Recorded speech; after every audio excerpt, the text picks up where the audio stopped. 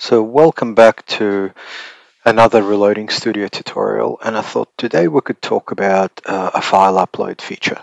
So uh, not necessarily specific to a particular module. So there's some modules, we can do cartridge development, we can catalog our rifles, handguns, components, but each one of these modules has a particular feature. And so if we go into powders, um, the this is just test data, it's not really important, but we can see these little thumbnails, this cover images.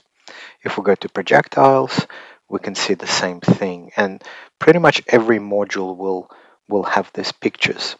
Uh, and even if we go into a responsive or tablet specific view, that's this icon over here, uh, we'll, we'll talk about controls in a different tutorial, but um, this, this is probably um, an important one for for this demo.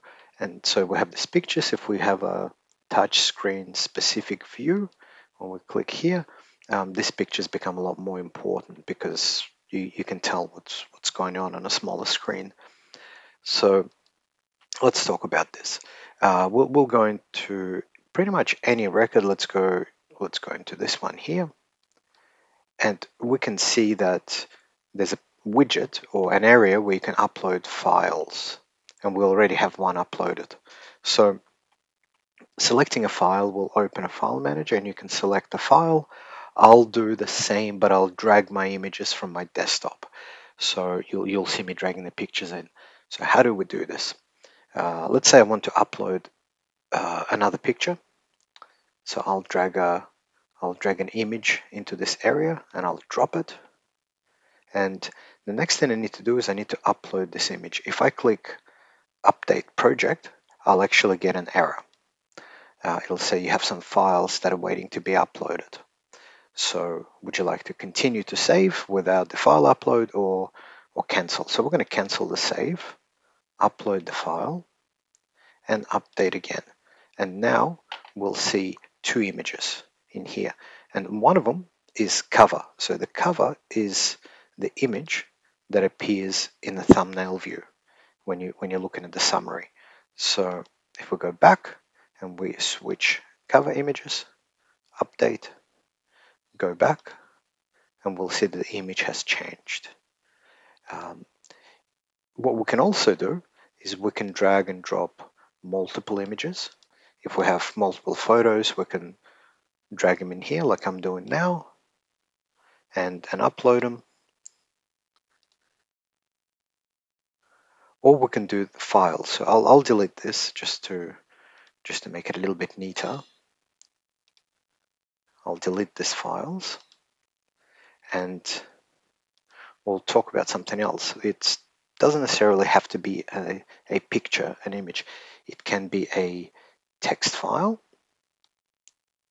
or it can be a PDF file.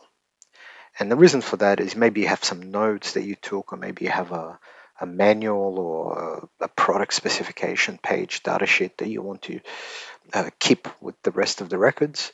Uh, for example, a manual for a rifle or a handgun, uh, you can do that and you can actually upload them, save, and they'll be your they'll be here. These are the files that are associated with this particular record and you, and you can view them through the web browser as well. So if I click view, I'll get a new tab opening which says I'm a test PDF file. And if we go to a text note, exactly the same thing. See that. And we and likewise we can we can delete them. This upload feature is present in pretty much every module in the application. So in all of the components, factory ammunition, and cartridge development. So uh, we'll, we'll talk about this. This is a reasonably complicated feature, so we'll talk about it in its own tutorial.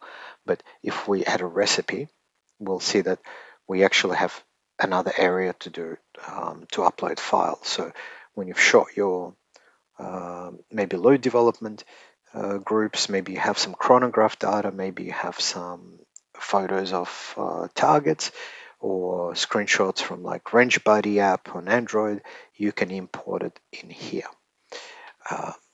So that's um, that's pretty much it. That's the uh, file upload feature in the application. It's one of those fundamental features that you just need to know about. It doesn't belong to any module.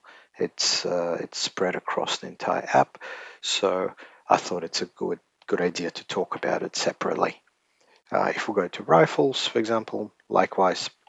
Now, when you don't have an image, so I only have one image here, uh, you'll just get a default preview image, and that's application generates that.